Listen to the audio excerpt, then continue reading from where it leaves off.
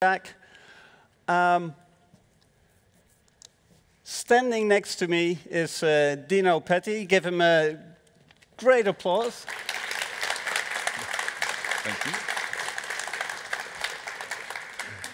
Yeah, we didn't rehearse this when we were supposed to go sit. So s- shall we just? Can I sit now? yeah, sit down now. Does this work? yeah, it does. Um,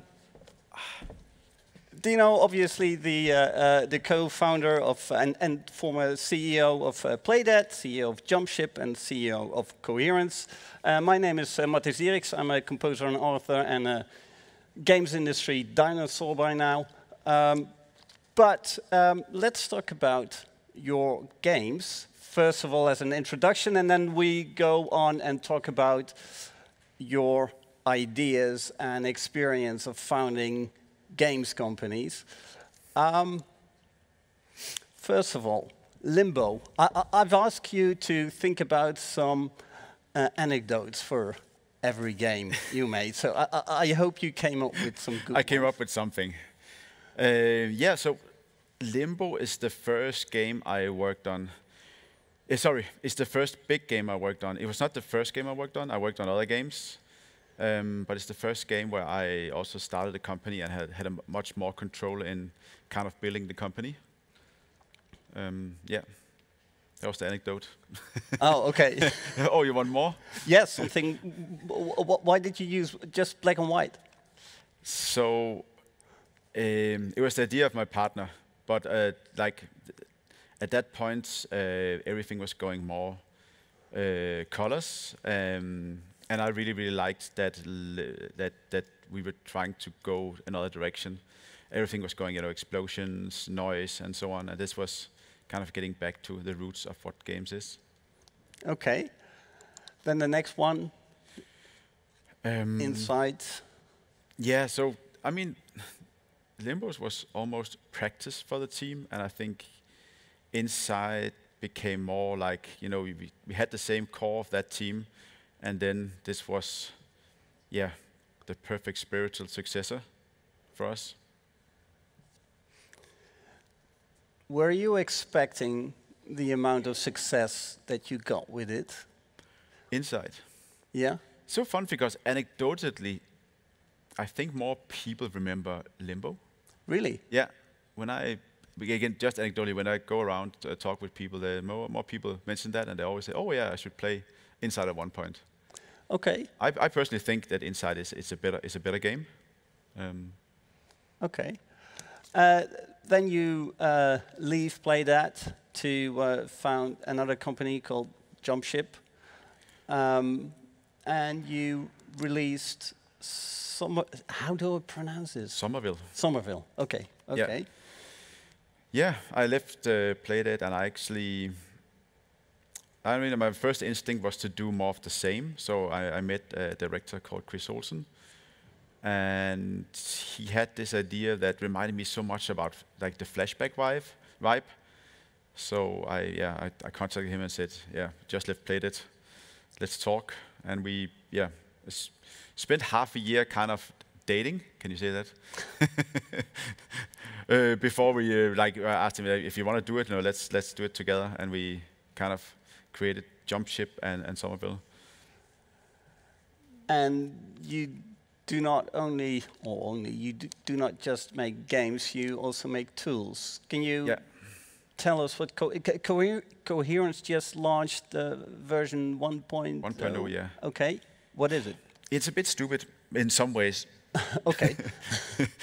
no, because after after Playdead, I was really really addicted to kind of, you know, doing these m- mm, massive things that touched people, and I had this idea that I wanted to make like a huge multiplayer game, you know, more emotional than what you see out there, and something that is that was touching people's heart. And I tried to make you know the vision bigger and bigger and bigger and bigger, and then you know it became almost like let's make a tool that can help all creative minds in the world make multiplayer games. So it it went to that. You know, when you look at mods, you know, some of the biggest games came out of uh, a small team building upon another idea and getting help uh, without investment, just uh, like the pure idea. And so that was that was the the spark to that. So the, the, the short of it, it's a multiplayer SDK for Unity. Yeah. And it's. Uh, I mean, now you're making it sound really unsexy. oh, sorry. I, I, just. I, I, yeah, well, these are your potential customers. yeah, well, what we're selling is essentially that it makes multiplayer easy. Like, uh, I have been avoided it for many years, and many people are avoiding it, and we're just trying to make it easy. We, we tried, we explained it a bit by saying it's the kind of, you know, multi, uh, Unity and Unreal. What they did for general game development, we're trying to do for multiplayer. So really make it easy, make, like, like when I was younger, um, I laughed a lot about, you know, people come out of the study and say, oh, I want to make an MMO. Because you're like, oh, of course, they would never make an MMO. But now that's actually the idea that we want to have that idiot getting this idea and doing something uh, amazing with it, right? Okay. Um, I want to go back a bit to the start of your companies. Um, I know you've said in the past that to you, vision is immensely important. Um, well, first of all, why do you think it's the vision in particular is so important when starting a games company? Um, the short answer is that time is the most valuable currency we have. There's nothing else that that, uh, that exceeds it. So when you when you go for lunch, you don't need to have a vision to go have a lunch. If uh, it's a lunch, what's it called? Yeah, like yeah. dinner, right? Um, when you do something that takes a week or two, maybe you need to have a slide plan. But when you do a games company, you I don't think I realized, and I don't think a lot of people realize, that you're setting off for a journey that takes maybe three, five, ten years. And I think if you don't have a vision of where you want to go, also what, what feeling is it you want to achieve in the end, where's, like, what is it you want to like uh, go with this, I think you will not manage to, I think you will quit early. I think you need that to, to sustain some kind of, you know, there's so many hard times. There's so many times that it's it's not fun. Uh, even now, I mean, uh, like, uh, uh, coming, we can talk about that also, but there's, there's so many hard times. Whenever you try to do something out of nothing, which you do oftentimes with games, it, it's such a hard thing. And then, like, the vision is just like such a good thing to keep you on track, such a good thing to talk with your employees about. If you have a company, and, and I can, uh, uh, and also partners, and I can see, especially with my, my employees, uh, and colleagues, uh, it's so powerful to talk about division because it always keeps you going. Like if morals is down or like just once in a while. Um, what I do in Coherence is actually I, I make it like a company-wide talk every three months, every half year, where I kind of just go down. Um, I bury myself a bit. I come up with some uh, like not not uh, new ideas for the vision, but kind of, you know, what are the developments on the, on the vision? Then I talk with my partners and see if they agree. And then, then, you know, I present it for the whole company. And I just feel it's really strong to feel that you're part of something that is a bigger vision and not just, you know, oh, it's fun to make games. Yeah, but in, in, in, your opinion, because vision is kind of a broad uh, statement, but, but in, in your mind, what should a good vision entail? I, I haven't found out. but what I think is really important is that you, uh, if you're the one carrying the vision, that you sit down and you find out what's the feeling and what's the kind of what's the broad outcome. Because I don't think it's a precise thing. You, you cannot say it's this or this. I think you have to, like, I want to take over the world could be a vision with and do something good for the world maybe also is also a good vision and then you can kind of start from that and make, kind of align it slowly with what you're doing why is what you're doing good for the world um, and yeah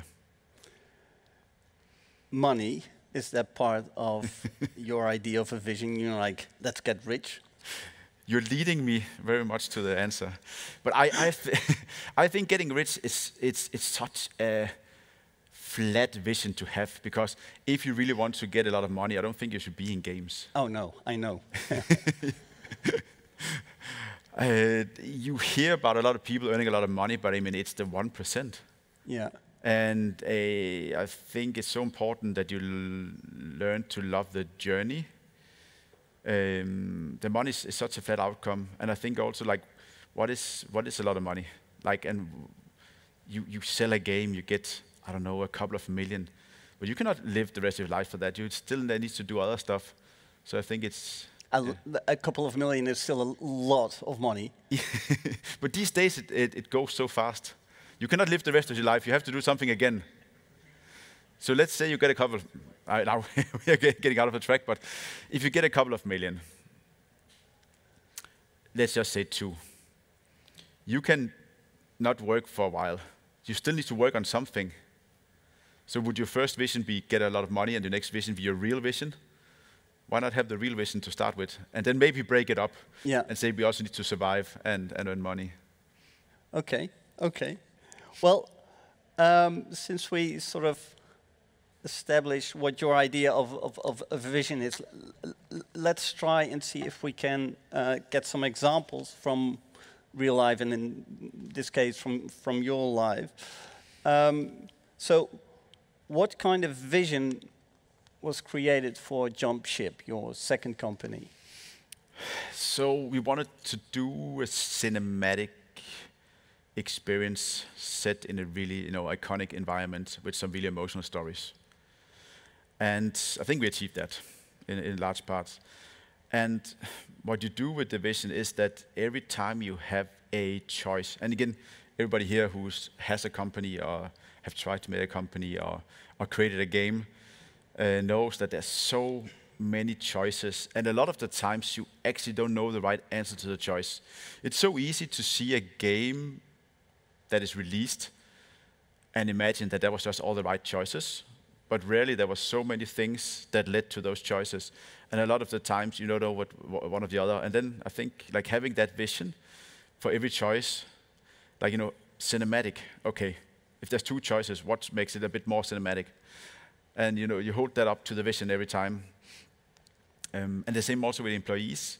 I think it's so e uh, so important that when you hire people, that you do the typecasting.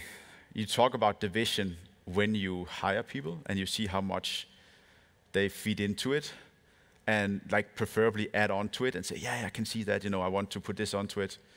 Uh, because then you know they add on to your vision. Because again, the, the vision, I don't think anybody, also like the great visionaries of our time, I don't think they ever had like a really precise visions with millimeter precision. It's like it's a feeling of something you do in the future. Um, and it can, it can be so, so strong if you, if you present it correctly. I have this, this example I saw recently from Elon Musk, which you love or hate, uh, but he's creating this robot, and this robot does nothing it is actually a bit laughable at what step they are compared to everybody else. But the way he presented, saying that this robot is going to all of the tasks you don't want to do in your life, this robot is going to do it, and it's going to do it in a way where we're going to change the economy of how we think about it today. And you were like, boom, right? He sold this shitty robot to us once again. Yeah, yeah. yeah. How do I get, I'm, I'm, get I'm, that? trying to picture it, but having a team that understands the vision is uh, very important to you.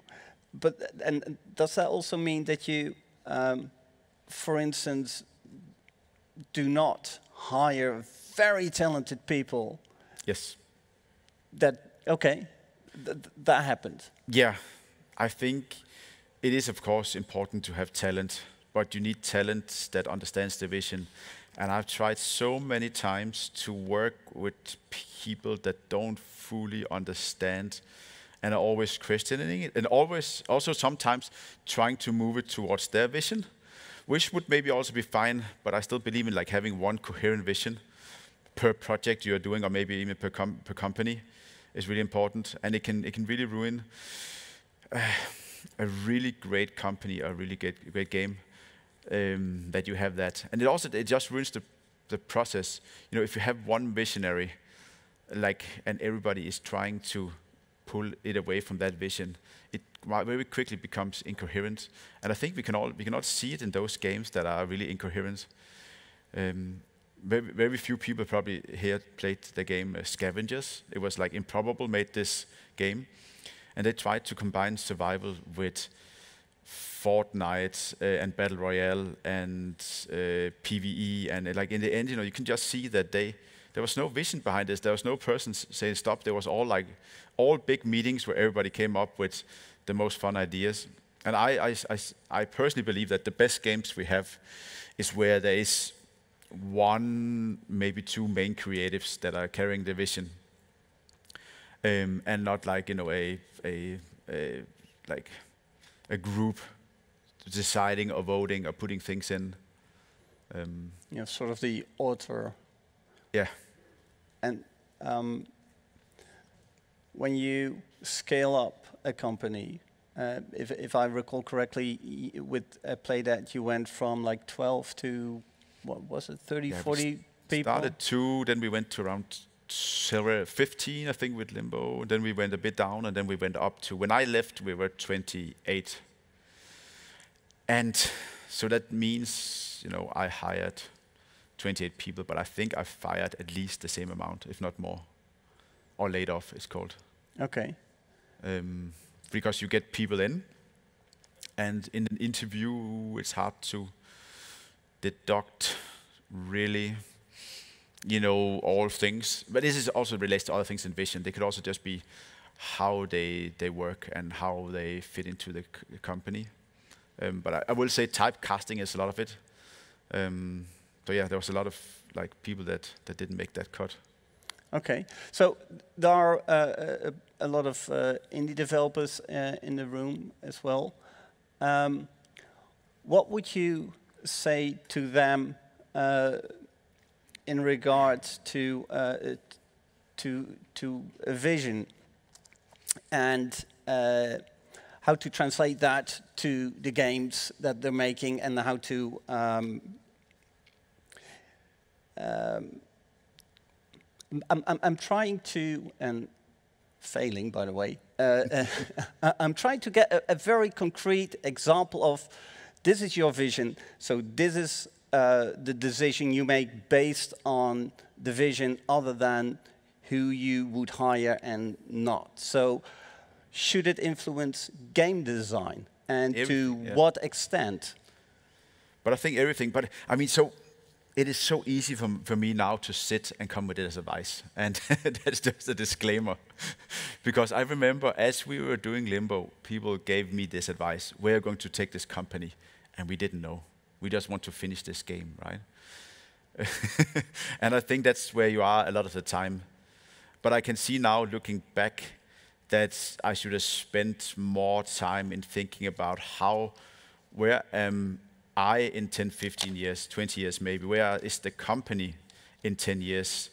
Uh, and and there, what we maybe thought about where it was more like you know in the local space where where these games going, and and it's more now looking back at it. I I'm starting to understand how important um, that this how important the vision we set out at that point how important it actually was. Um, but I think there's also the, there's vision, but there's also the values you, you create around it. And values is, is probably the, the guardrail. Uh, so you, you have a vision, but you also test it up against, you know, what's, what's your values? Do you value gameplay? Do you value making a positive impact in the world? And do you value, like, there's so many, there's so many things, um, yeah, as a guardrail. But, but, but if you look back, and, and um, you, you, set out with a plan, with Playdead and, and later with Jumpship. Um, did you feel that you adhered to that plan, to that vision? Did you, did you leave it at any point? Um, no, I, I think it, it is so important to stick to it. But I will say, like, what I think what you're asking is also how much should you stick to a vision compared to uh, react to the environment around you. Say no to funding if yeah. that would mean a shift. But I think that is, that is a spectrum. That is for sure a spectrum. And you can be a visionary purist. And I think my ex-partner in Playdead, he was a visionary purist. Uh, and still is. And I am for sure over the, like, the, the, the average. And then you can all go all the way down to people that just say, that say and do everything for money. And I think it's really, really important to be above above the average. I mean, uh, the money you take in can definitely put you down a wrong path. And the reason I start about talking about time as, as an economy is also, if you factor time into it, if you end up, for example, doing consulting, and that's something I always categorically regretted to do. If you start doing consulting, you of course do consulting to not die, but it's also going to be something you do until you die, maybe. If, because you, you, you can never, it, the math doesn't check out. You cannot, it's so, for very, very few companies, it makes sense to, it, um, they can make enough consulting that they can actually build original IP on the side. Um, and even the, like even the people you hire, if you hire something for an original IP where it's all about thinking the best thoughts and doing the best choices, compared to a consultancy job where you hire people to do the most cheap and reliable job, um, it, it, it's hard to shift people around on that. Um, so that, yeah, I would for sure always tend to follow the vision because I think if you don't do that, you end up just doing stuff for money. I think it's, it, it, yeah, this is maybe controversial, but I would rather fail doing the vision. What do you say? You say it's better to shoot for the star and land in the puddle than aiming for the puddle. Yeah, yeah. Well, that dovetails nicely into our next subject, which is founding and, and, and growing of businesses. Um, so you have founded three game companies. Um, you must have had moments where you were thinking, "Oh my God, this is going all wrong," and and, and we're going down, or, or this is a this is uh, a problem that is too big for us. What, what are the ways you get out of those situ situations? What are the pitfalls that you manage to sidestep? I think it, it's a bit hard for me to think about like a few big ones because I think game development and development in general is one big pitfall you're rolling down a hill and hitting rock after rock, and once in a while you gain balance, but most of it is just uh, elegantly falling down and not hurting yourself too much.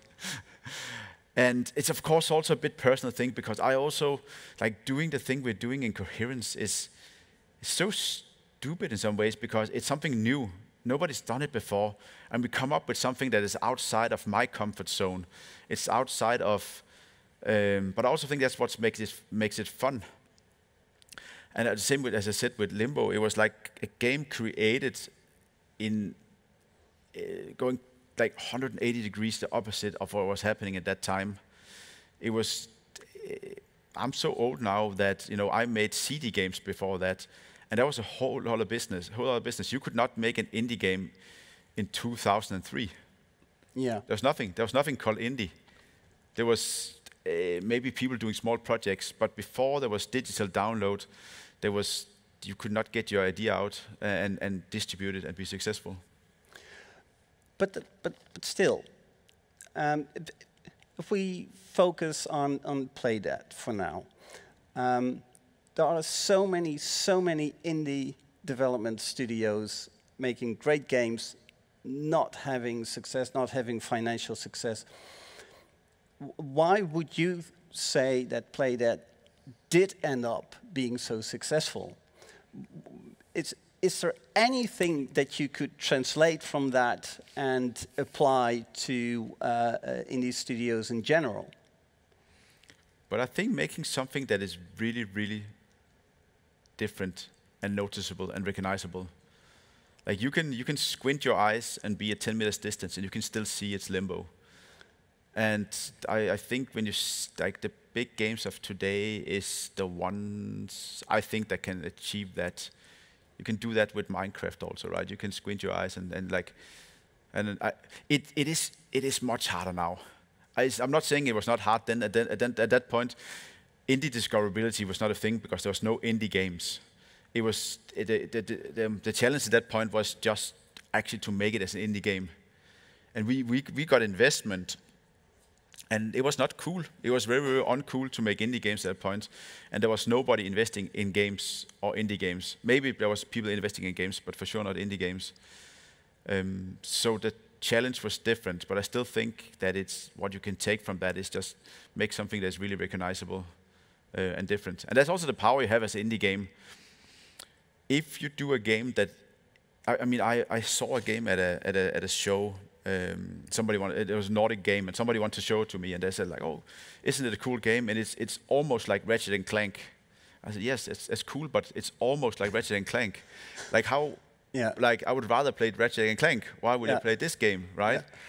But then there's also some indie games that just deliver so much value and so much crazy new ideas that no AAA game would ever try to do that. There's so many games that have given me so many good feelings because they're doing something different. They're touching me in a new way. They're trying something completely different. And they can do it because they're a small team.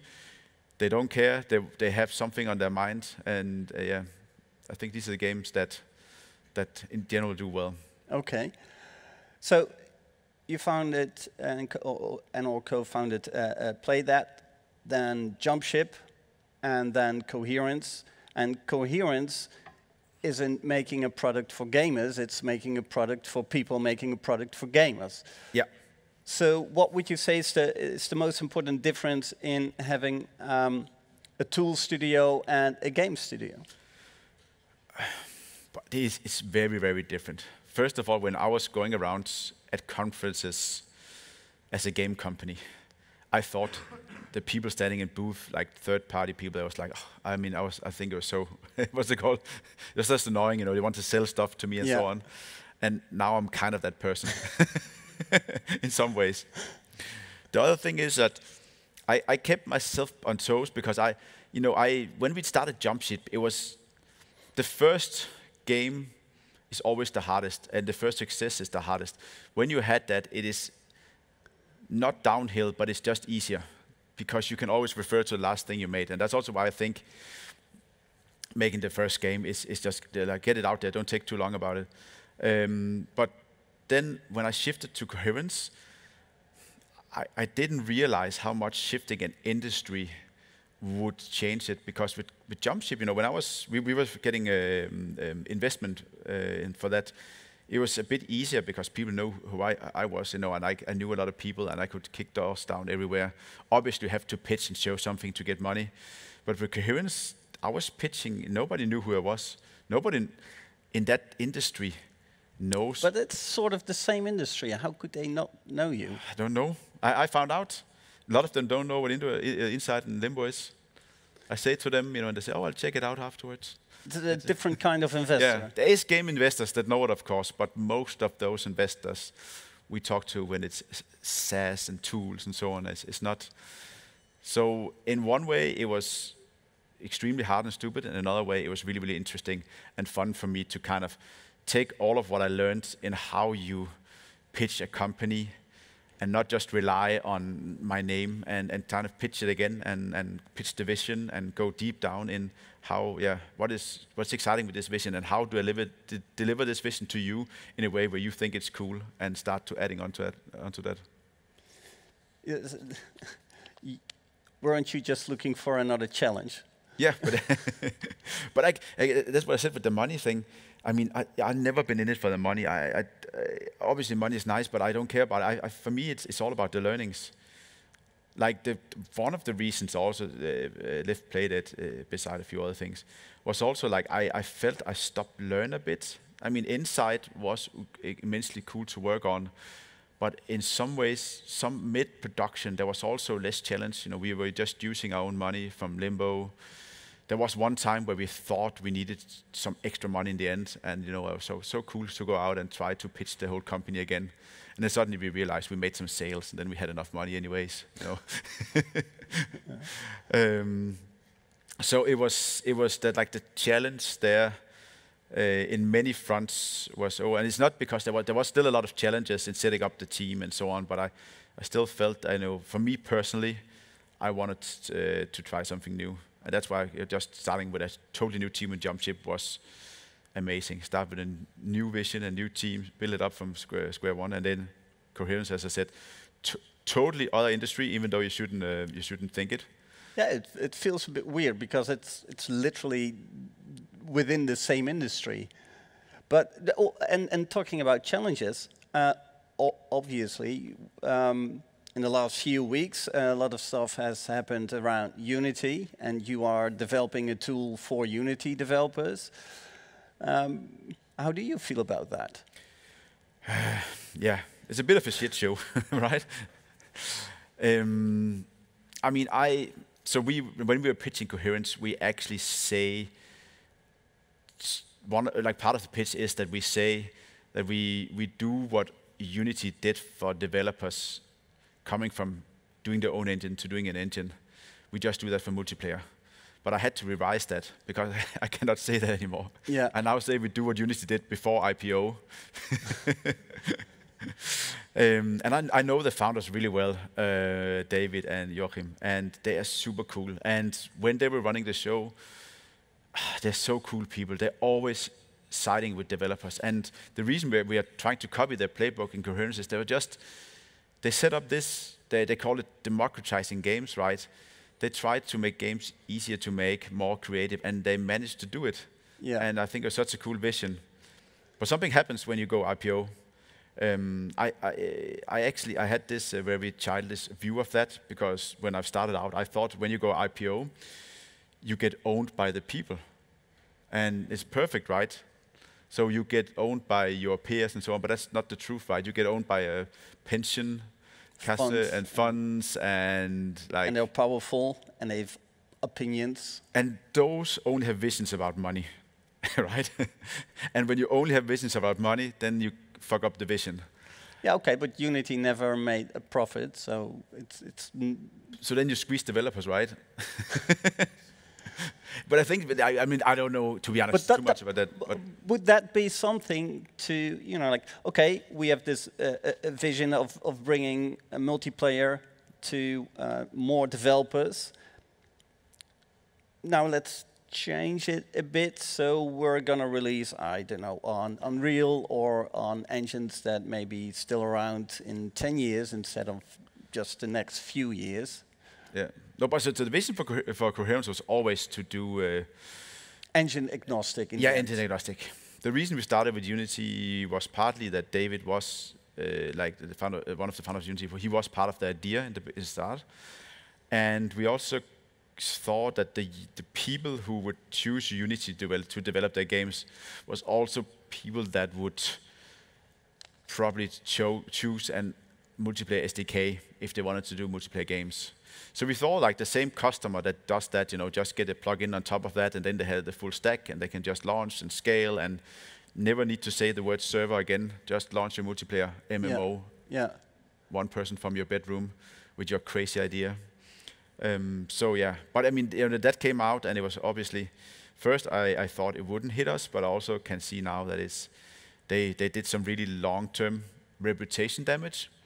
And even though I feel that they they backpedal enough that you can kind of choose that again. I think actually when you look at the reality, what it costs to develop on Unity and Unreal, I still think in a lot of the cases it's still more cheap to Unity. The problem is just that a lot of developers don't trust that anymore. Yeah. Will they change that later? It's the trust thermocline that they went yeah. below. Yeah, but I also think that the, some of the some of the worst things they put in was that it was retrospectively. So you could have developed your game, which a lot of things that people did, release it. Same as buying a car. You look at all the cars, you find out what car fits your economy with all the features it has, and then you know one year after the dealership calls you and say like now you actually have to pay also per kilometer, because then you wouldn't yeah. have, ch have, chosen that car, right? And that's that's what happened. Um, and I think that fact that you could destroy business models of people who released, you know, years and years back.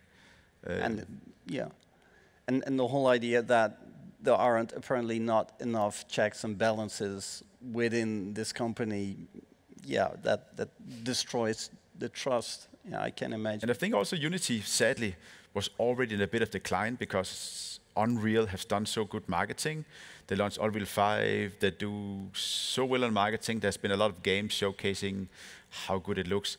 Um, and to be honest, I know developers who've done actually both engines at the same time, and they say it's the kind of same ship, shit, just different places.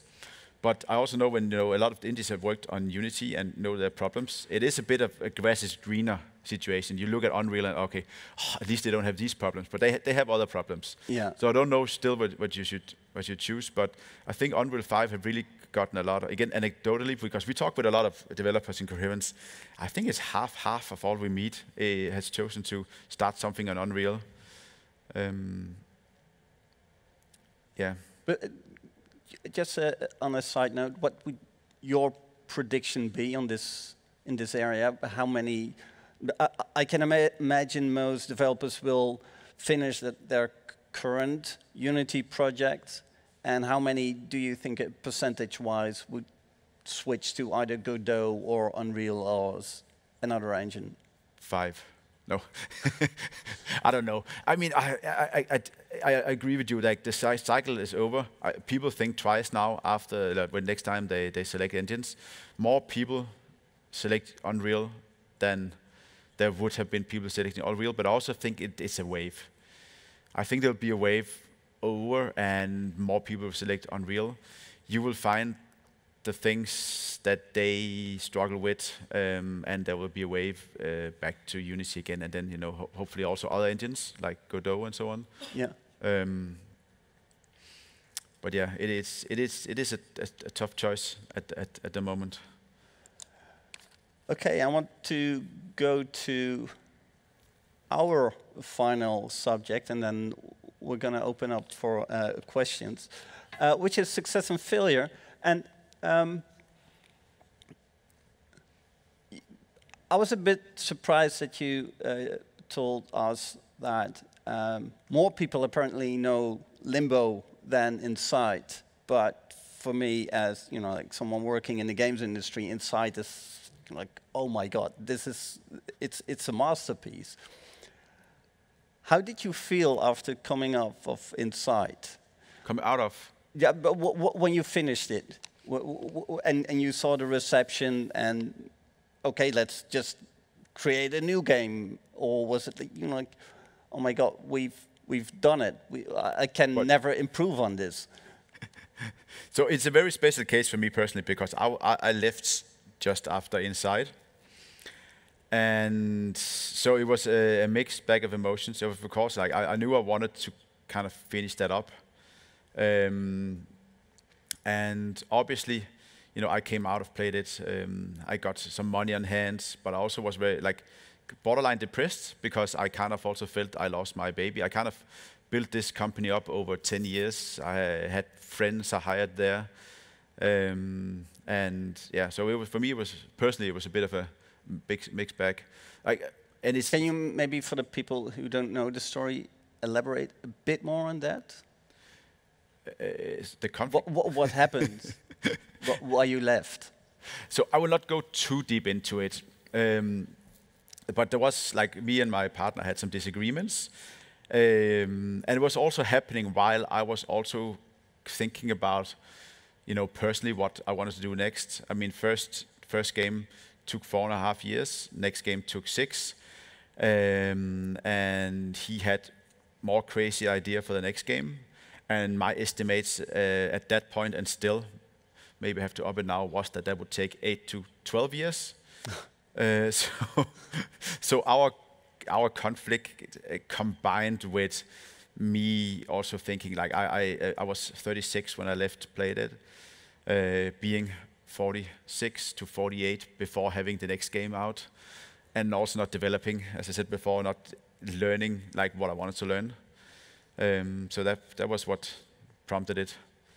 And then, of course, it was a bit stupid because I went out then and, and created two things: coherence and Jumpship at the same time. Yeah. I felt it went too slow, and then suddenly it went it went too fast um, in many ways, and it was uh, also a bit stupid. But that's that's just me. I think I, I I do a lot of things to the extreme first before I find find the level, uh, and this was kind of part of that. Yeah. But it was yeah it was like my, one of my biggest worries after I, I left Playdead was if I could ever create something as big again. And I have this a bit stupid anecdote uh, because I was I was really I was I, was really depressed and I was really thinking about how what like what can I do when you you're standing from scratch like you know you have to develop that new vision for yourself and for the next thing you know and it's you know, it, it's never easy. And I, I thought for to myself who who in the world ha had the same problem as me? And then I thought uh, of all people I thought Notch not just tried it. He must know something. Yeah. So I, I wrote him and I, I went to his uh, his office in um, in Stockholm, and you know it's, it's, a very weird office he had. I don't know if he still have it. There was like a escape the room puzzle to get into the office. Uh, this was before the sale to Microsoft or after? After. Okay. After after yeah yeah yeah. It was just him, his friend, and two PAs, and a really nice office, you know. And I came into this uh, escape the room puzzle, right? And I was, you know, wow, that's amazing. I was just about to, and then she said, oh, he's waiting for you, so I'll just complete the puzzle. And then we, we went into the room, like, no. So we, I went in, you know, I had a really good talk with him. Um, and then he, like, uh, Valve have just sent him the, the index.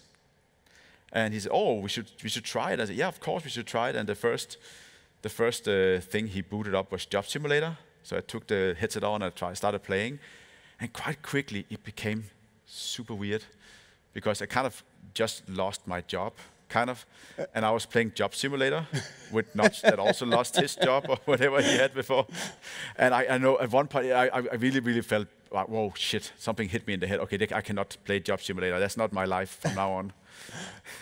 And I had to stop it and it, it, didn't yield so much. I mean, it was fun to discuss with him, but you know, I mean, for me, I just I just wanted to talk with a lot of people that had gone through some something like that um, to to find out.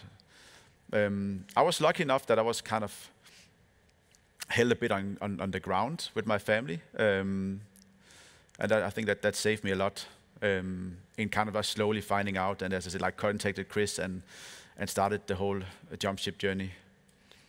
Um, Are you pleased with how uh, Jumpship turned out and uh, Somerville? Yeah, but I mean, we had a vision and we, we, we completed that vision. Uh, we're still doing stuff in Jumpship. Um, so I'm pretty happy about that. I think for me personally, it was very, very stupid to do two companies at one time.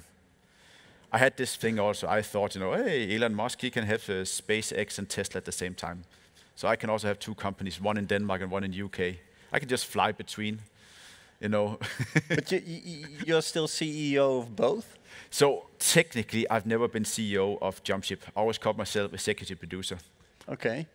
Um, because there was a bit less committal.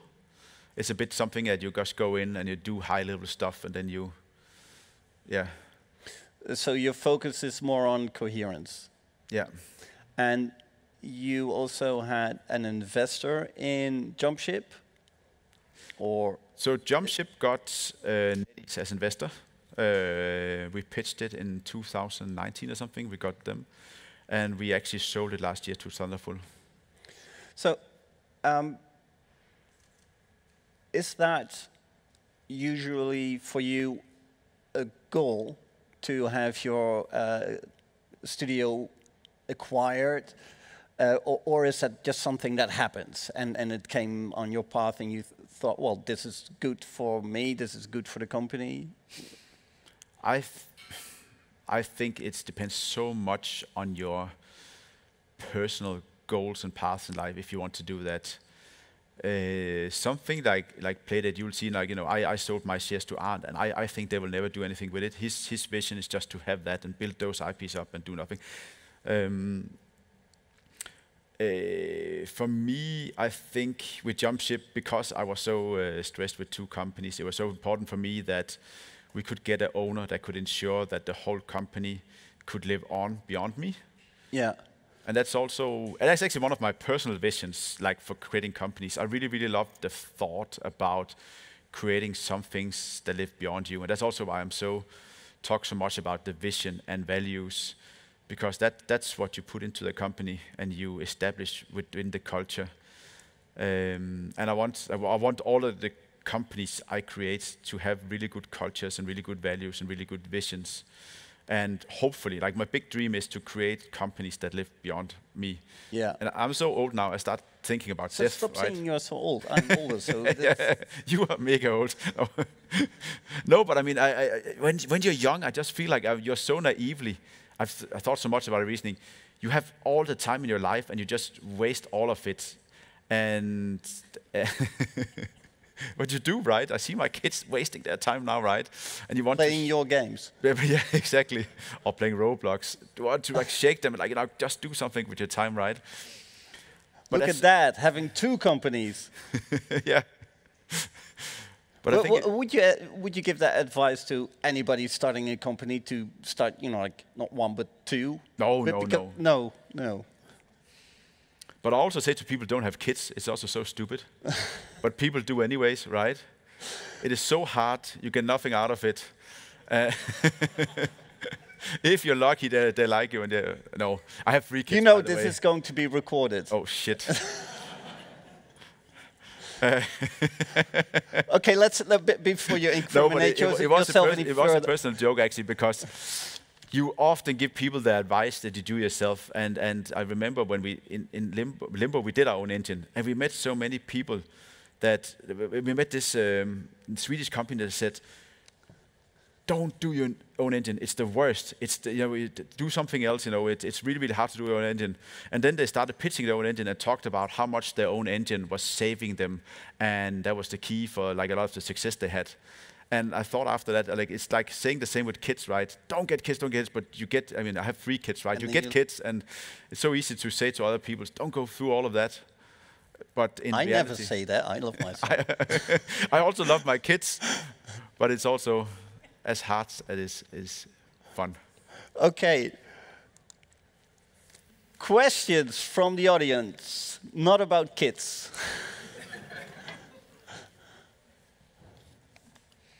You know, oh, yeah. Hey, Dino, thanks for the, the insights in your adventures. It's uh, really, uh, it's really working in my mind. But I was actually wondering, uh, after you took off Job Simulator, did Notch tell you something? Like, wh- did he help you in a way moving forward?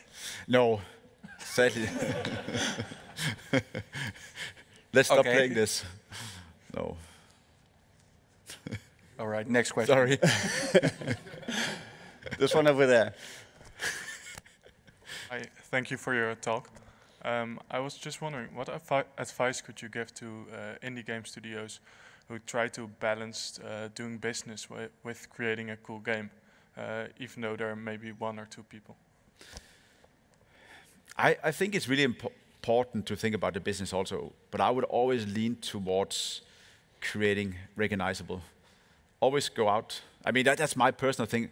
It's, it's much cooler to go out with a bang than doing something you thought were commercial, that you thought people would like, because in reality, that's not how it is. If you make something, if you make the more commercial choice, it's not always more commercial. I think in the indie space, it's actually more commercial to do something that is crazy and out there.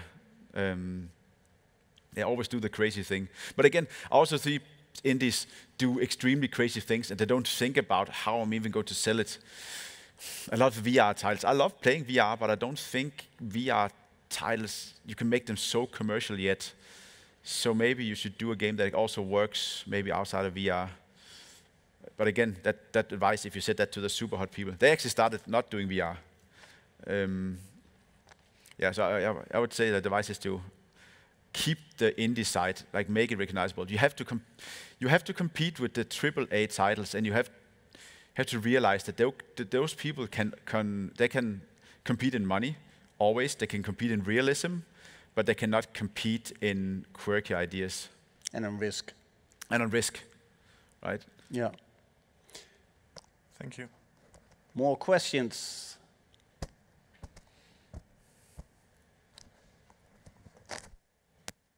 Oh, this is really fun. um, so I'm really curious about like the experience. of- Ge- keep, keep it close to you. okay, are, are we good? Yeah. All right. So I'm really curious about the experience of uh, uh, uh, funding uh, the company that makes coherence, Yeah. but like in a sustainable way. In the sense of, I really enjoy making tools. It's one of my favorite parts of game development. And like, it would be sick if I could make a living off of selling tools. But it's actually not something that's very easy to do. So, and especially if it, the more specialized the tool or the longer mm -hmm. the, the R&D takes, how did you manage to keep the company alive long enough to develop the features of coherence? Or did you have customers from the start? How is that company surviving? So it's easy answer, but it's not a good answer. Like we, we are just running on investments. We're not profitable yet. So we are loaning other people's money to do it. but it's, yeah, and I think it's hard not to do that. Because if you do a tool that's easy to make, then a lot of people have done it. And if you do a tool that's hard to make, then it requires a lot of uh, effort.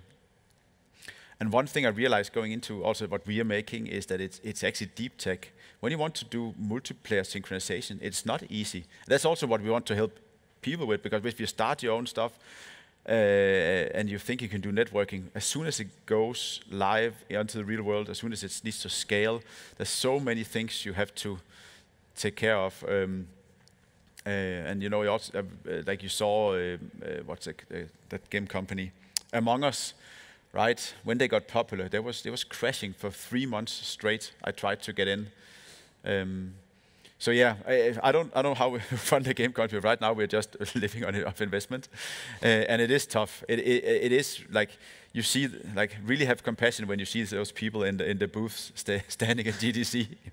it's a tough job, and you also uh, one one of my pitches when I talk about um, coherence is always that when when Unity was pitching Unity, nobody wanted it. Nobody needed it. Everybody had their own engine or solution. They were selling something that was a solution for in 10 years. Uh, so it was like it was a slow process of slowly coming in. You know, and suddenly you have release games after a while. You know, after half a year to a year, and then it goes faster and faster. Then suddenly, now you know, fast forward. Right now, nobody would build a new game engine. If like if you have a game idea, you want to build that, and then you use a game, a game engine because it doesn't matter. And that's, that's our thesis also with, with coherence. Like in five years, nobody will build their own network stack. Why should you build your own multiplayer department, network team, and live ops team in, in, in a game company? You just want to have your idea, that's, that's your core, and then you let kind of, you know, you, you buy that off the shelf component. Um, that's, that, yeah. Thank you. There was a question behind you. Right there. Thank you. Thank throw you for it. the throw. Thank you so much, Dino, for the talk. Um, I was curious, uh, a lot of people that have had a really big success seem to kind of have so much pressure that they're not sure, you know, where to go. Um, I, you know, Notch, it might be a good example. Um, I'm very curious how that felt when, uh, when Limbo was so popular. If you felt like, hey, maybe we should do something completely different, go into a different kind of vision, or if you felt like, you know, you've talked about vision a lot, if this was like, I want, did you already want to make inside when you, just when you finished Limbo without seeing just how popular it got? Um, so, yeah, it was my partner that was behind some of, uh, a lot of those things. But I think for like the whole company, it was just important to kind of do what we were good at, find the strengths in the team, and then do more of it. Like all positions in the company just got more time. You know, you saw like because I think a lot of, a lot of the things in in in Limbo felt rushed, and it's also you know we were building a company while building a game.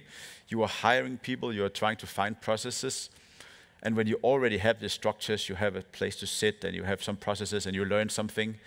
It's I, I think it's just easier to, yeah, do like do the spiritual successor. Like give all positions like this game designer just get more time the sound designer more time. Um, yeah. But I think yeah on a personal front I think that that's more diff uh, difficult. Because I think a lot of the people who have success and leave it it is I think I, I found out now that people that's that have a couple of years of break and then start again I I think uh, I mean I really have respect for those people now because it's they're starting not from scratch, but they they have to figure out what to do again. What is it that that made them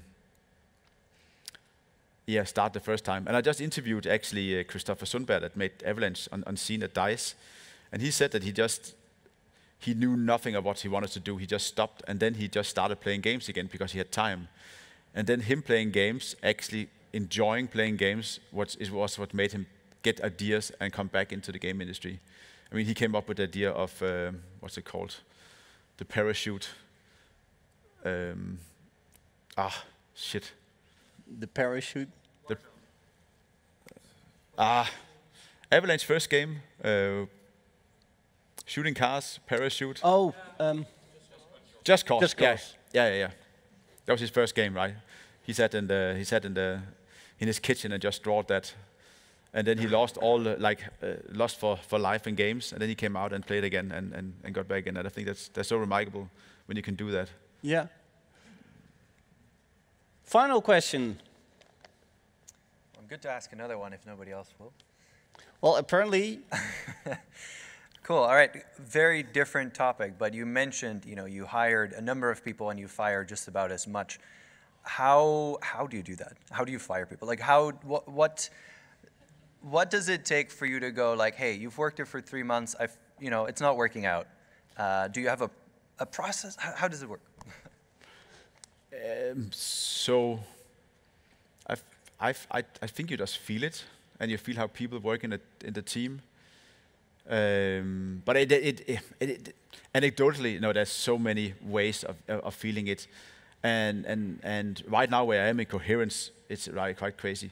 But I I don't like that part anymore, so I have somebody else to do that. But you used to like to fire I, people. no, no, no, no. I, so I never liked it, but I didn't have the realization that I could get other people to fire people.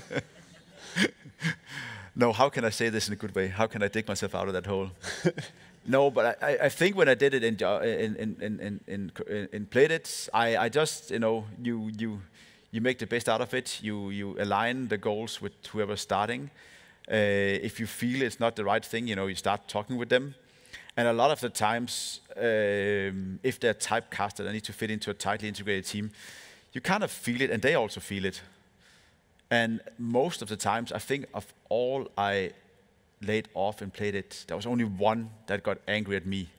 Everybody else, you know, it was more like conversation. They could see it didn't work out, and all of them came to another place afterwards where they were more happy. That's also always what I said to myself. It's kind of, you know, it's I didn't see it as me being an employer and me hiring. It's like, you know, have, we have to work together. You, you have to have a good job, and I have to have a happy staff, uh, staff, right? Um, but both in Coherence and Jumpship, around, after around 15 people, uh, I hired a person like a COO, a director of studio in Jumpship, and a COO in, in Coherence that are handling that. And I found out that's, that's a magical point. Because after 15 people, I didn't hire a person, and the company just grows. Yeah. I've been at company stuff where I didn't knew people. Like I'm not even already 30, but you know I could come in and there's just a lot of people and oh these people start in three weeks and I didn't know and I think it's magical when the company gets this life by itself. Yeah, yeah. Um, and yeah, again, that's I think that's the, for me at least that's the next level. Like how do you? I always thought about how do you hire yourself invaluable. You start the company and you always want to hire people that are better than you that can replace you and you just get pushed out at the top. And I mean, the perfect thing would be to just be pushed fully out and have this company that just lives and have the vision and have all the values and Yeah. continue into infinite. That's a nice. Uh, th- that's a nice vision of the future to uh, to wrap up. Thank you for the questions. By the way, some great questions from uh, the audience. Give them a round of applause. Thank you.